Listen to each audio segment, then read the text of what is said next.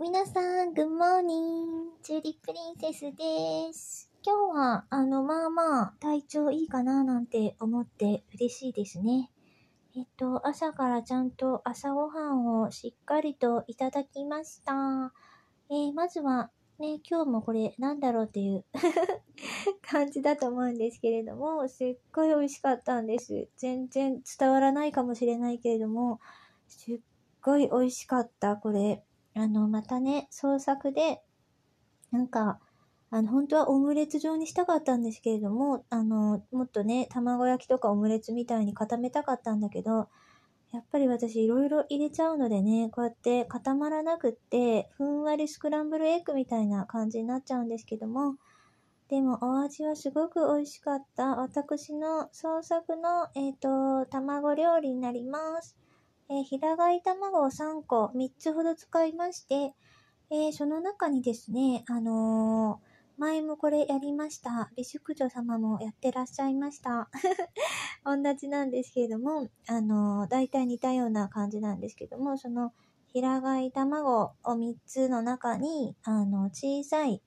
なんか、絹豆腐、あの、冷ややこ用になった4パックとかになった、あの、絹豆腐を、なんか第一かオイシックスかで買ってたの一つね、丸々パタンって入れて、あの、もう、あの、ミニのシャカシャカシャカって混ぜる泡立て器みたいなので、あの、もうぐちゃぐちゃに混ぜ合わせるんですね。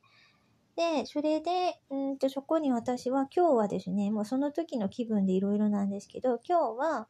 そこに、えっと、第、第一宅配の万能つゆと、あと、ぬち回すと、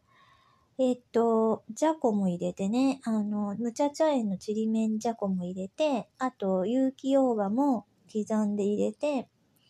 あと甘みをつけたいなと思って、蜂蜜、有機蜂蜜を入れて、で、そして、さらにスライスチーズを、あの、刻んで入れました。なのでね、美味しい、絶対美味しいやつ。大葉、ね、チーズってありますよね。大葉チーズのね、蜂蜜を、あの、卵焼きね、すごい、あの、私、結構得意っていうか好きだったんですけども、それをちょっと応用した感じですね。蜂蜜に、あのー、大葉にね、チーズにじゃこっていう感じで、まあ今日はいろいろ入れちゃったんですけれども、お豆腐も入ってるし、あの、間違いないですね。それを焼いて、あのーやっぱね、ちょっとね、お醤油の風味があると美味しいんですね。なので、えっと、どこで買ったのだったかな？あの、第一宅配かな？で買った、あの、生醤油っていうのがあるんですけども、生醤油ね、ポツンポツンと、ちょっとポトポトって、ちょっとだけかけていただいたら、もうその、なんだろう、お醤油の風味とチーズのなんか、風味とね、大葉とね、もう、卵にお豆腐にもうね、じゃこにって感じ、合う、全部のこう素材がこう、ふわーって湧き上がってくる感じで、とっても美味しかったですってもう3分半、このだけの、これだけの説明で過ぎちゃったんですけども、すごく美味しかった。で、これが